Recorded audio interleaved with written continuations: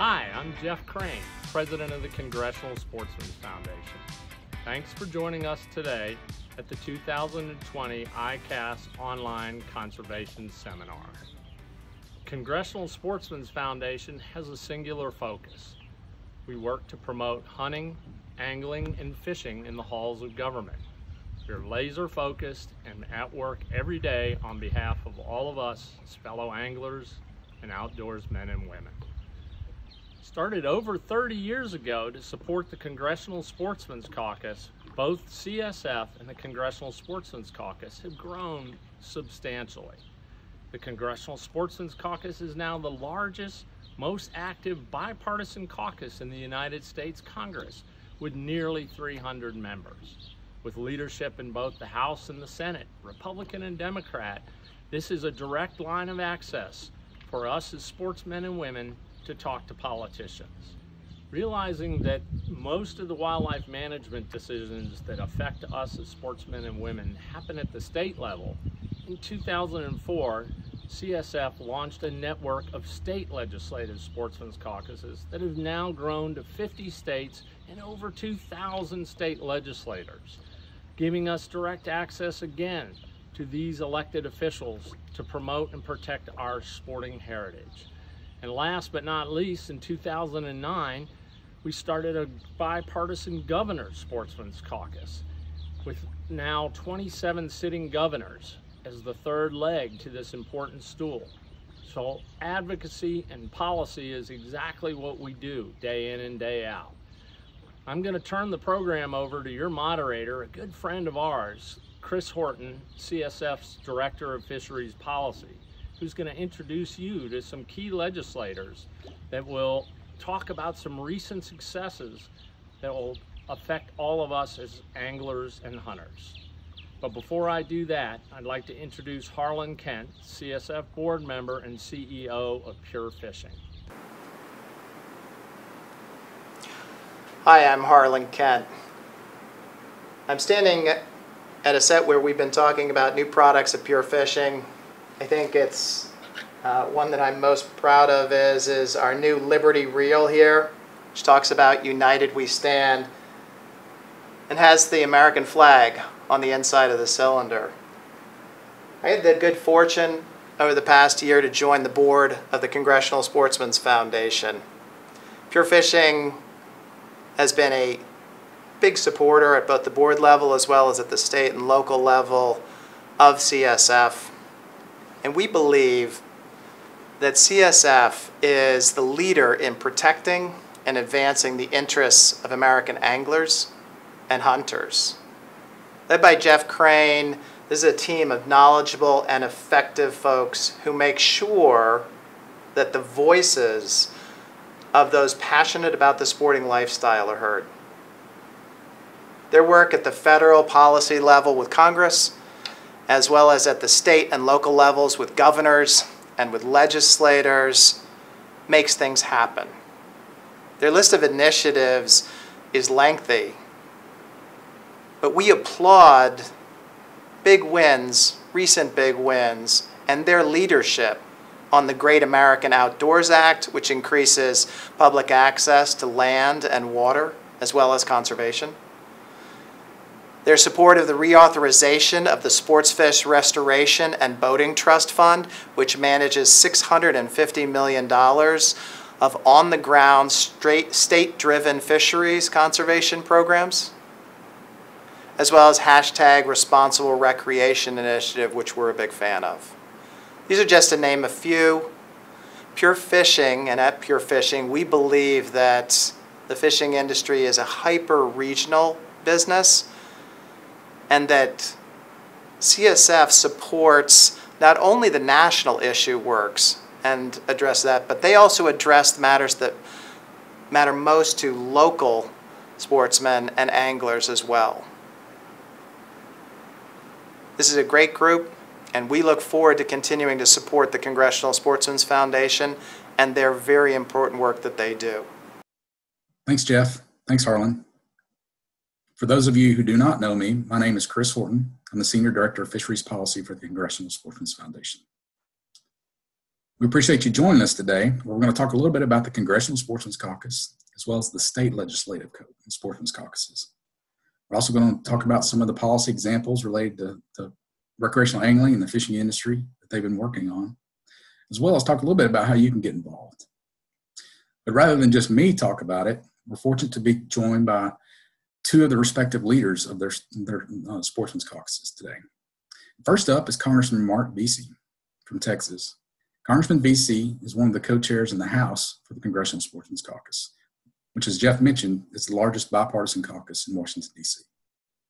Congressman Veasey, thanks for joining us today and welcome. Hey, welcome. How are you doing? I'm doing great. I'm doing great. Good. Good. I'm glad to hear that. Everything's going great here uh, in Fort Worth. So um, I would, I, I guess I, I, was, I want to welcome you to my hometown, but I guess that I'm not where you are and you're not where I'm at. So, but um, I hope that there that there will be. I know there'll be people here um, uh, from Fort Worth that are going to be watching, and so I want to know that you're always welcome to to come here uh, because this is a town where people really appreciate the great outdoors uh, and appreciate the experience of uh, you know clean air, clean water, uh, and everything that it affords us uh, in the hunting and fishing space. Well, well, I appreciate. It. I, I love Fort Worth, Dallas area. I've been there many times. Uh, got some pretty good fishing around around town there as well. So yeah. Uh, but anyway, t- tell us tell us a little bit about yourself. Some background on you. Well, I'm, i was born here in Fort Worth. I'm, I'm uh, you know, we have so many new people that live here now. Uh, Dallas Fort Worth Metroplex being one of the fastest growing regions in the entire country. But uh, I'm from here. I'm second generation. My mom was the first uh, of her nine siblings that were actually born in Fort Worth. My grandparents moved here at about 1949, 1950, and my mother was born here. And so, uh, you know, uh, I love uh, this community and this town, uh, and enjoy representing uh, it in, um, in, in the U.S. Capitol. before I was in the United States House of Representatives, I was in the state legislature, and before that, worked for a U.S. congressman and graduated from Texas Wesleyan University. Okay. my wife and I uh, um, who's also from Fort Worth. We have a, a, child here. He's in Fort Worth Independent School District. Uh, and uh, like all other 14 year olds, he's ready to get back to school so he can be with his friends. At first, in March, he couldn't, he was happy that school was going to be uh, delayed or canceled for the rest of the year. Now he's like, when do I, when can I escape from my parents? So it's, it's, uh, you know, it, things have like changed a little bit since March. Yes, they have for all of us, for sure, for sure. Yeah, uh, but, uh, but yeah, but so uh, my roots are, are, are pretty strong here. I and you know I grew I grew up um, uh, doing a lot of uh, bank fishing. We we couldn't afford a mm-hmm. boat, mm-hmm. Uh, but there's a lake in between the city of Fort Worth and city of Arlington. Is Lake Arlington, and that's really where I learned to appreciate the outdoors.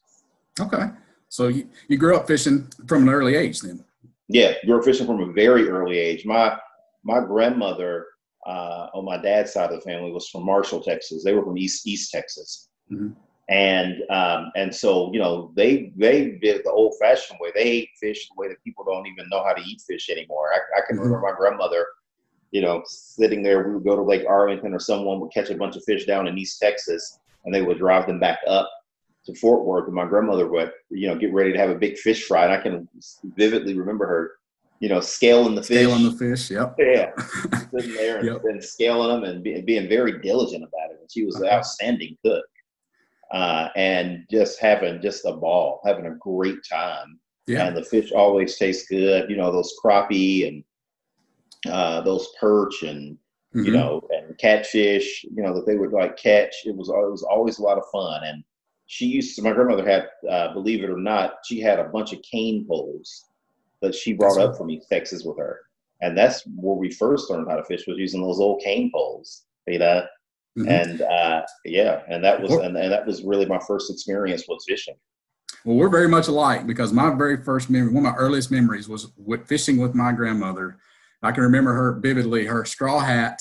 We had a cane pole, a can a Folgers can of, of uh, red worms, and we went to a local creek and watching that red and white plastic bobber go under. That's right. Excited. I mean, that just hooked me for life right there. Yeah, yeah, that's absolutely, absolutely, and uh, and you know, and I can remember my, my dad, he was always emphasizing cleaning up at the lake, mm-hmm. you know, so we would never leave our worm, you know, cartons, uh, you know, out there or, you know, th- or, or, trash from, you know, opening up a package of weights or, or, or what have you. We would like never leave mm-hmm. that stuff laying around. He always emphasized like cleaning up behind ourselves.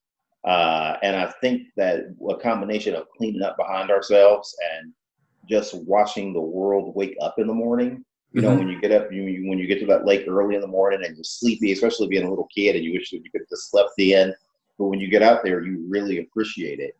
Right. And right. um, and and it, it is it, it's truly an incredible experience, almost more of an of an amazing experience than the hunting or fishing itself. Mm-hmm. Than to get up and just watch God's world wake up. It, it's something that I never get tired of. Uh, the last duck hunt that I did before the the end of the season here in Fort Worth. Uh, it was incredible. It was just, mm-hmm. it was incredible watching the sunrise, and it's something. Even though it's the same experience, each time I feel like it's a different experience because uh, it is so amazing uh, just to watch uh, what God created uh, begin uh, to take shape and form in the morning uh, as we progress throughout the rest of our day. Mm-hmm. I couldn't agree more. So, when were you first elected to Congress? I was elected to Congress uh, in 2012. And so okay. I was sworn in January the 3rd, 2013, on my birthday. Mm-hmm. Uh, and, uh, you know, that's so it's interesting having your being sworn in on your birthday because there's so much going on. Oh, yeah. I mean, uh, yeah. And so it, it was really, it was absolutely incredible. So we actually did a, a birthday dinner for me the day before because we knew the day of that it was going to be tough to actually be able to celebrate my birthday. Yeah. Uh, but but that was so I'm now my fourth term and so my first three terms on armed services and science, space, and technology, and now I'm on the energy and commerce committee. Okay. Well, you joined the Sportsman's Caucus in 2015. So tell us a little bit uh, from your perspective why you thought it was important to join the Sportsman's Caucus. Not only that, but you've dedicated time to serving the leadership capacity, some of your yeah. time to do that. So tell us a little bit about that, why you felt it was important. I thought that it was important to join, you know, A, because I love the great outdoors. And when I heard about the caucus and their mission uh, to not only promote, you know, uh, outdoor sports and outdoor activities, uh, but also their, their role in conservation mm-hmm. Uh, and trying to create bipartisan pieces of legislation that encourage us to take care of our earth and to uh, and, and be wise in our conservation of it uh, and to come up with different strategies and different uh, means of legislation uh, to be able to make sure that we protect, uh, you know, the what God has given us, and that we keep it around for generations to, to come, uh, and that we also encourage future generations to participate in outdoor sporting and outdoor activities to to make sure that we keep that going because it's such a it's, it's such an incredible part of the American um, of American history and something that really uh, binds all of us together really since the beginning of our republic is uh, is people surviving uh, on the out out in out in the outdoors and through nature. Uh, and of course that's evolved over the years and and and what that means. Uh, but uh, I really believe that um, that I I hope that I'm helping not only make Congress a better place but you know through the legislation that we work on and through the principles that we believe in I hope that I'm really um, uh, setting up a situation where I'm leaving behind a better, you know, uh, world as it relates to to the outdoors for my son and hopefully for his kids when you know when he gets ready to have them. Well, we certainly appreciate your leadership. Uh, you've been you've been great uh, leader for the caucus. You've been very engaged and active, and, and have always been there whenever we needed you. So no, thank you, thank you. Switching gears a little bit to, to policy, uh, you are actually a co, uh, one of the original co-sponsors uh, with Congressman Rob Wittman uh, for a bill that's near and dear to my heart as a former state fisheries biologist and somebody who's dedicated my career to fisheries conservation, and that is the National Fish Habitat Conservation Through Partnerships Act, or HR 1747. Uh, yeah. a little bit about that bill? Yeah, no, I mean, you know, it, it, it's a good bill. I mean, it really works, I think, uh, overtime to help protect, restore, and enhance you know our nation's uh, fishing and aquatic communities through you know very strategic partnerships. Mm-hmm. Uh, you know, which again is, is is key to the whole outdoor thing uh, working. Um, um, you know, it's uh, uh, there are currently about 20 recognized partnerships that take this bottom-up approach to ensure uh, that these projects will continue to focus uh, on local and state uh, uh, level strategies that really address the needs that we have in fishing in fishing resources. And so, mm-hmm.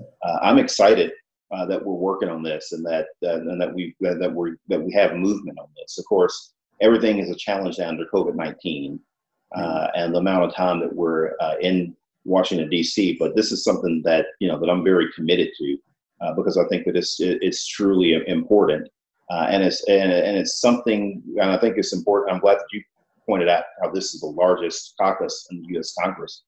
Uh, because I really think that is, it is important that when we can work on issues like this that can bond us together as Democrats mm-hmm. and Republicans, uh, that we really work on them and highlight them as much as possible so the American public that can see that we are doing things uh, for the country uh, that are truly good for everybody in a bipartisan manner. Right, right. Well, we thank you for your, your efforts on that. Uh, the National Fish Habitat through Conservation Partnerships Act was uh, included in the ACE Act, which uh, was uh, came out of the, the, the House and went to the Senate, and the Senate has amended that and sent it back to the House. So literally we're like one vote away from getting this thing over the finish line uh, and it's something that we've been working on for 14 years and it's it just basically authorizes authorizes a program that's already been in existence that uh, currently only gets about $7 million a year uh, through the u.s wildlife service budget but those 20 partnerships have been incredible in leveraging that little bit of federal dollars uh, with state partners dollars so uh, it's a great great program. Really appreciate your leadership, and hopefully we can punch this one in across the goal line here. Yeah, I hope so. I hope that we're we're able uh, to do that. I know that I've talked with Mike Thompson, you know, and I've talked with Martin Heinrich over on the Senate side, and you know, let our leadership know just how important this legislation is. All right, next up, I want to talk about an important piece of legislation that is already passed, and actually, the Center for Sport Fishing Policy held another one of these conservation seminars earlier in the week at ICAST Online, and that was the Modern Fish Act. Now, you, you were one of the first Democrats, along with your fellow former uh, Congressman Gene Green in Texas, who actually signed mm-hmm. on this bill uh, early on after it was introduced. And I think that was play, that was critical to demonstrate that this is this is truly a bipartisan effort here to do something different for for recreation fisheries management. So, can you tell me a little bit about why you felt it was important to sign on to that bill? Yeah, you know, I, I mentioned to you earlier that I was in the state legislature uh, mm-hmm. before I was in the U.S. Uh, House, and in the state legislature, uh, you learn a lot about the importance of uh, saltwater fishing, uh, and it is hugely important to the Texas economy. Uh, it is um, uh, something that um, you know was talked about a lot. You go into members' offices and you see, you know, some of uh, some of the their catches and and pictures and and things like that that they have uh, experienced, you know, with their friends and families over the years, and and it's a huge part of our economy here. Uh, mm-hmm. and our wildlife department does such a, a good job in managing our coastal uh, waterways, and I thought that being able uh, to have uh, this particular bill pass would be a good way to sort of complement the good work that we already uh, do here. Uh, just because recreational uh, angling and uh, commercial fishing, those are, are, are, are, two things that are, again, just very vital to the Texas economy. And the federal law that governs marine fisheries has largely focused on managing fisheries for the commercial side of the coin uh, and not so much the recreational. And so I just thought it was really important that we look for ways that we could better manage uh, the recreational fisheries while ensuring that we have a healthy, uh, abundant of fish uh, out in the population for everybody to enjoy. So we can keep that story going in Texas because it, it is uh, it, it's it, it's it's it's big here. And and of mm-hmm. course, where I live in Texas, you have to drive a long way to be able to take advantage of this uh, but it's something that people here in the North Texas area do on a on a regular basis. Mm-hmm. I mean, it is it, it, it's it's that big, and you know I don't have to explain it to people that live in other states where this is also a big part of their economy and a part of their way of life. Uh, but uh, you know, being able to enhance that and being able to have that better managed, I think, is just is really essential. Uh, and again, it complements the good work that's already happening here. You know, with uh, our agencies that manage fish and wildlife uh, in Texas. Again, thank you for very much for your leadership on that. Absolutely, it was critical early on to demonstrate that hey, this is something that's again like like most hunting, fishing, natural resource conservation, it should transcend party lines and let's work. Right. Yeah. Absolutely. No question. So, all right, one final topic that I want to talk to you about, and that's the Great American Outdoors Act. Yeah. Uh, it's been it's been heralded as the single uh, greatest co- uh, commitment to increasing uh, public access and advancing conservation in, in, our lifetime. And you're a co-sponsor of that bill in the House, and uh, yeah. it just moved out of the Senate and just passed the Senate recently. And uh, so, tell us a little bit about that bill and what it does. No, this is a great bill. I mean, $9.5 billion uh, to address uh, maintenance backlogs and uh, a lot of the crumbling infrastructure uh, that we have at our national uh, parks. And, you know, I had a chance to visit one of the national parks when I was in Colorado recently, uh, when we were staying in Durango. and it's incredible, you know, the, the work that the, the, the federal officials do to maintain these parks. Uh, but again, you know, if we can do something to to help them uh, with this crumbling infrastructure, I think that it's important. I mean, if you you know the inclusion of uh, BLM uh, uh, and uh, the maintenance backlog in the bill is critically important to the sportsmen and, and sportswomen of this country. you're looking at collectively through these agencies. You, you know that they're providing roughly 25 million hunting days and 45 million fishing days. Uh, and, and, and it fully and permanently funds the Land and Water Conservation Fund at, about, at around $900 million annually, which is the most successful and influential conservation programs that we've had in our nation's history. Uh, and already the program has completed a conservation, recreation, or access project in every single county in the country uh, and you know that that's that's hugely significant. And so you know I think that that this is going to be a very uh, historic and significant way uh, to conserve our federal uh, lands and waters, uh, and also uh, increase recreational opportunities and even some jobs along the way. and there are more and more young people that you meet from our colleges and from campuses around the country that say they would like to be able to uh, have a job where they work outdoors uh, and where they help maintain a lot of our great parks. And so uh, I think that that this is really going to be a wonderful bill. So I know it's hard to predict what's going to happen in Congress. It is, especially yeah. now. But yeah. what, what, do you think the chances of it passing on, on the House side? It's, it's already passed the Senate. Yeah, I think that it's good. Uh, it's it's it. Look, and it is. We're in a challenging environment right now uh, and trying to get as much done as we possibly can with the with the abbreviated schedule that we've been on since COVID nineteen is very difficult. Uh, but I do know that there is a you know, that there's a desire uh, for these bills to get passed, uh, and uh, and you know, and they again they you know we've talked about them. You know, I've encouraged they uh, that they become passed. I know the people that have worked so hard on them uh, you know, really want to take advantage of this opportunity that we have, this this moment of bipartisanship to work on these bills, uh, because we know that they're hugely important for the country, and uh, and so with that, you know, I actually feel fairly good about it. Uh, we just need to make sure that we're using all of our time wisely between now uh, and the end of the year to make sure that we get it done. Well, Congressman, it's been great. Thank you so much for joining us. Really appreciate your leadership on behalf of anglers in the, in the angling industry, not only in Texas, but across the country. And, you know, hopefully we can uh, get back to normal before too long and, and I look forward to seeing you again. And uh, hopefully on the water the next time we have a congressional fishing competition, which hopefully maybe th- things go well, maybe next spring or, or summer, we can get back out on the bay and chase some stripers. That would be nice. That would, that would, that would be after everything we're going through now much yeah. needed. Yeah. Our next guest is Representative Pat Brennan.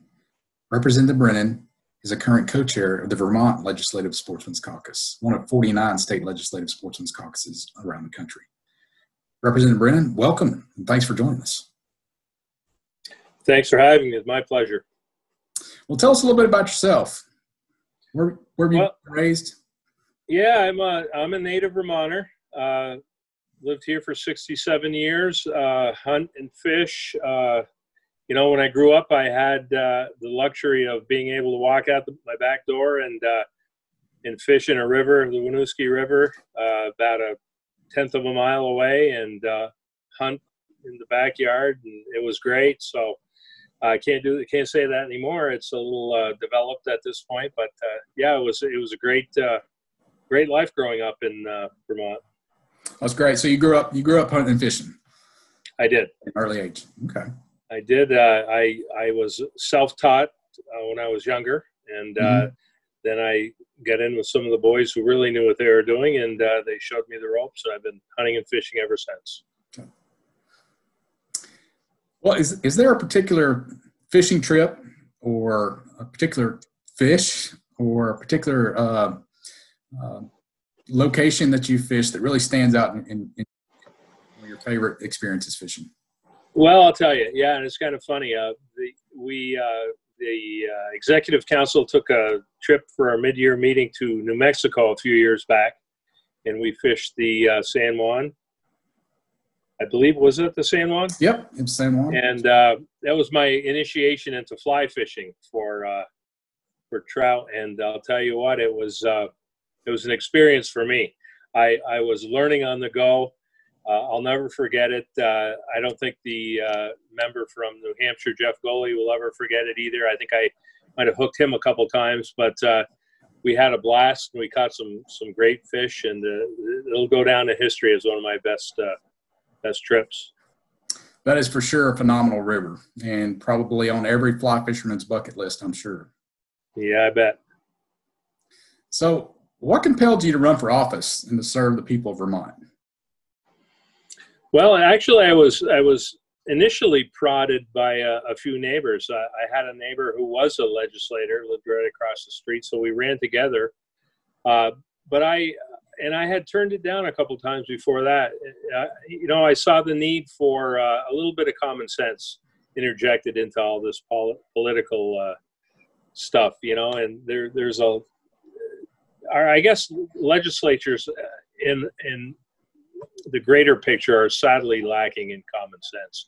So I. Uh, I had a lot on my mind. Uh, we, you know, Vermont suffers from transportation woes. Uh, Fish and Wildlife was always underfunded, and that was that was continually on my mind. Um, so I wanted to see what I could do, and uh, that's the best way to do it is get involved. So, how important are hunting and fishing to the people of Vermont, the state of Vermont? And can you give us a sense of you know which of each of those is kind of the most popular? What species?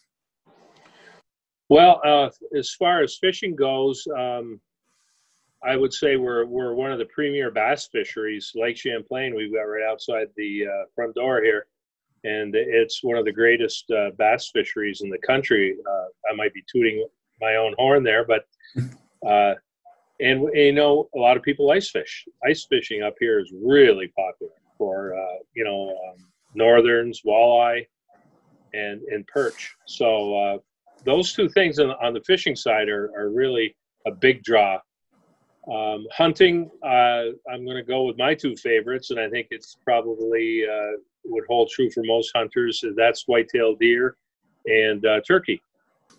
So, when did you first join the Vermont Legislative Sportsmen's Caucus? I joined uh, the Sportsmen's Caucus, I believe, in 2006. Um, it might have been 2005. a little fuzzy on that, um, but yeah, uh, a guy named Steve Adams started the caucus here in Vermont, and um, I joined uh, just about as soon as he got it going, and uh, took over from him as caucus co-chair when he left the legislature, and uh, been involved ever since. Can you give folks a sense of of what the caucus does, or just a quick overview of the caucus in general?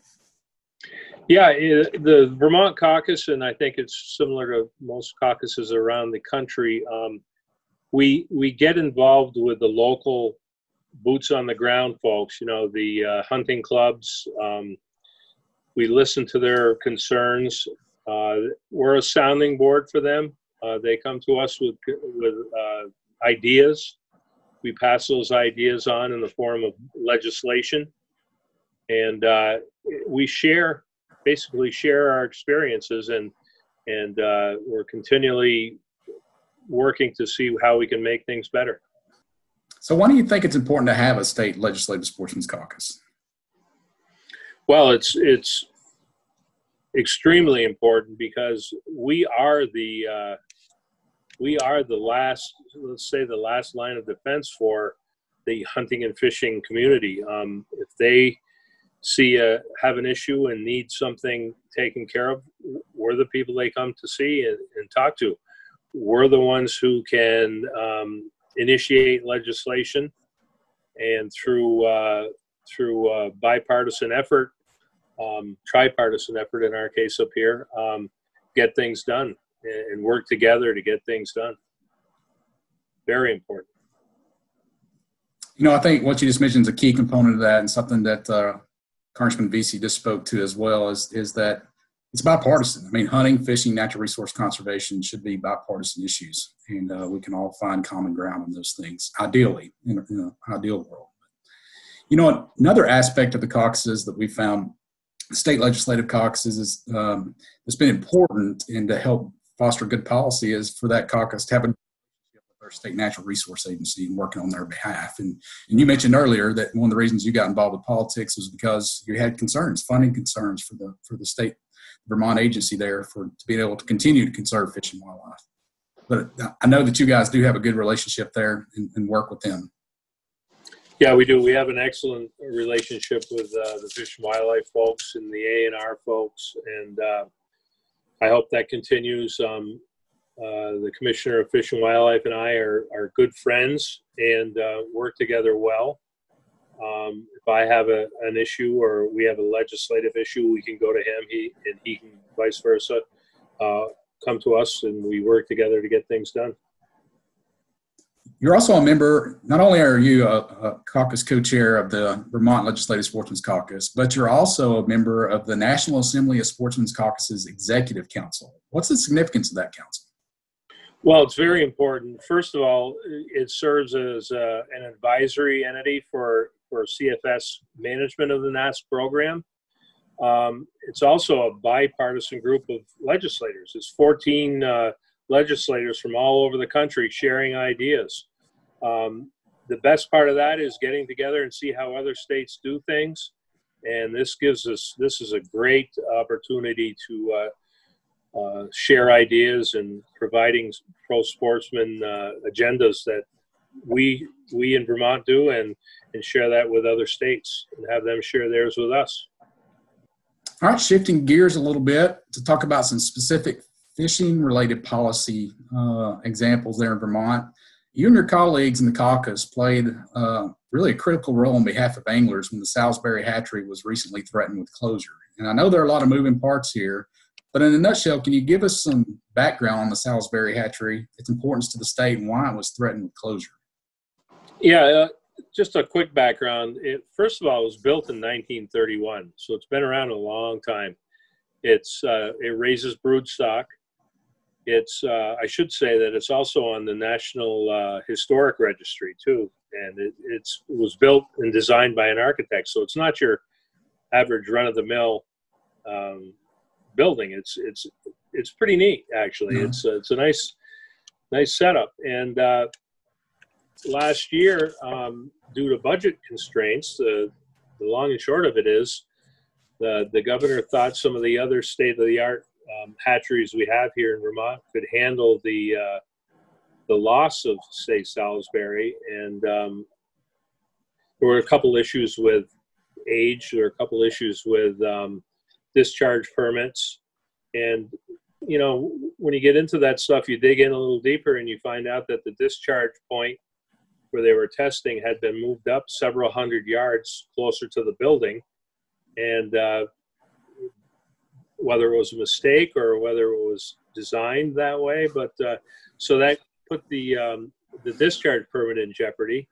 So we we got the A and R involved. We got all the sportsmen involved, and basically it was a five hundred thousand dollar fix we had to come up with, and uh, that's what the governor cut out of the budget It was the five hundred thousand dollars to fix Salisbury, and um, we we saw the significance of keeping that in place. So we gathered up the sportsmen, uh, hunters, hunters and fishermen, and we met in the governor's office one day, about thirty or forty strong, and proposed a one dollar increase on our hunting and fishing licenses. And he thought he looked at us and thought we were nuts. We wanted to increase our licenses. It was all about keeping Salisbury open. And I think that was an eye opener for the governor. And I think it was an eye opener to uh, people who underestimate the power of the sporting community. And so it was a great example of people coming together and in getting things done and raising enough money to keep that hatchery open. That's awesome, and that's uh, that, that's a testament to anglers were the original conservationists and continue to be so. When there's a need, we'll step up to the plate and get it done. But license fees alone weren't the only issue. You had to find some additional grant money, didn't you? We did have to. We raised about 250 through uh, license increases, and the other 250 we got from the capital. Uh, we had some friends on a committee up there that. Um, were sympathetic to the cause, and hopefully they were hunters and fishermen too. And uh, so we, through capital bonding, we we got the other 250 with a little bit of help from appropriations. My good friend Bob Helm here is a member of our caucus, um, sits on appropriations, and uh, he was a he was a, a, crusader for that cause. So we together those two uh, two uh, money venues came up with five hundred thousand dollars. And Salisbury is still open. Salisbury is still open, and it will be for a while. Well, thank you so much for your leadership there. And I know uh, the Anglers of Vermont really appreciate it as well. Thank you. You're quite welcome. So, from a national perspective, what do you see as some of the potential challenges for recreational angling in the future? Well, I, I think recruitment, getting people involved. Um, I'd like to see, uh, well, we have programs. I'd like to see more, more done at the uh, the early ages when uh, children are developing. Get them outdoors. Get them thinking about um, the outdoors. Um, put a fishing pole in their hand at a young age and get them involved. It's it's all about that. We need to uh, we need to promote ourselves. We need to do a better job at promoting ourselves and and uh, I think as soon as people experience it and and get a chance to get out and do these things, um, I think the sport will grow. Yep, I, I, think you're right, and absolutely agree. And I think you would find other legislators and other state uh, caucuses across the country, as well as state agencies, saying that that is one of our biggest challenges: is recruitment, retention, reactivation, and and making sure that we have this the new anglers coming in so that we can continue this funding model of, of supporting fisheries and conservation well into the future and having healthy abundant fisheries uh,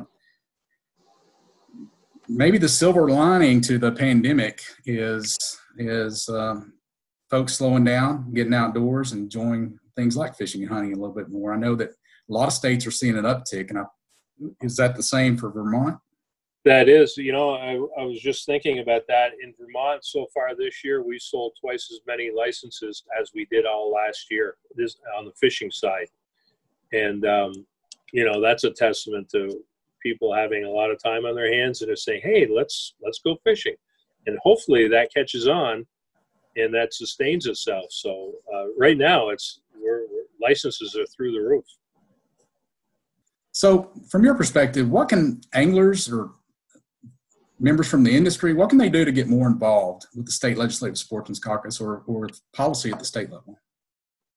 Well, I, I think it's important to um, to talk first talk to their local uh, hunting and fishing clubs, and then in turn look to us as legislators and members of the uh, legislative local sportsmen's caucuses to uh, to get together and sit down and chat. I, I know in Vermont here we host a, a couple get-togethers with the sporting uh, community every year, and what it is is it's a uh, information sharing um, event. You know, uh, we're all like-minded folks, and we we sit down and, and talk about things. And I think to keep that going, legislators have to be involved with their community. Absolutely, it's it's really it's no different than business. I mean, policy and legislation, it's all about relationships. And and those events, whether they be a briefing at the Capitol or maybe a, uh, even a sporting clays friendly competition at a range, it's an opportunity to spend some time with legislators and legislators spend time with sports and uh, community members and develop that that uh, relationship. I mean, even if there's not something policy oriented that they want to address right now, uh, developing those relationships so that when something does come up, uh, that mm-hmm. communication is already there. So, correct. Representative Brennan, thank you so much for your time. I appreciate everything that uh, everything that you do there in the state of Vermont, everything that you do nationally from the uh, National Assembly Sportsmen's Caucus's perspective. Um, I do have one more question, kind of a fun question, but so if you won a lottery but the lottery isn't actually a pot of money. It is five days to go fishing anywhere you want, completely outfitted with all the gear you need, with all the charter license or the guides or whatever you might need. Five days anywhere in the world. Where would it where would it be? Where would it be? Well, I you know I'm I'm not privy to uh, some of the premier fishing holes around the world but I have seen one in New Mexico there that I thoroughly enjoyed, and I would have, and the whole experience was great. I'd have to say I'd go back there. I think that would be a great choice. I think that would be a great yep. choice. Yeah. Representative Brennan, thank you so much. Again, appreciate everything you do on behalf of sportsmen and women, on behalf of the anglers and angling community there in Vermont, and again, nationally. Thank you for your time. Thank you very much. Pleasure to be here, Chris. Thank you. Well, thanks again for taking the time to join us today and learn a little bit more about Congressional Sportsmen's Foundation. While we work alongside our partners at the American Sport Fishing Association, CCA, NMMA, Center for Sport Fishing Policy, and BASS to conserve and enhance our fisheries resources as well as access to those resources. CSF, we, we play a unique role in the conservation that our members, our members of the legislatures and governor's offices, they're elected officials who we get to work with on natural resource policy uh, on a daily basis. While our address may be Washington, D.C., we have 10 staff members that are scattered across the country who are experts and experienced in, in policy at the local regional levels. So if you're interested in getting involved with CSF, maybe attending a state legislative caucus event or attending a congressional sportsman's caucus event, maybe like the congressional fishing competition, uh, whenever we can host events again, I encourage you to go to our website, congressionalsportsmen.org click on your state profile and find the CSF staff member that represents your region, your state. Connect with them. I would also encourage you while you're there to sign up for our uh, newsletter, The Sportsman's Voice, which covers state and federal policy topics that the caucuses and CSF is working on. While you're there, you should also sign up for Tracking Capitals if you're interested, which is a free service that allows you to track legislation in your states or multiple states across multiple topics. It's a free service and I encourage you to use it. So thanks again. I uh, look forward to hopefully seeing many of you in person at next year's ICAST, not on the water somewhere before.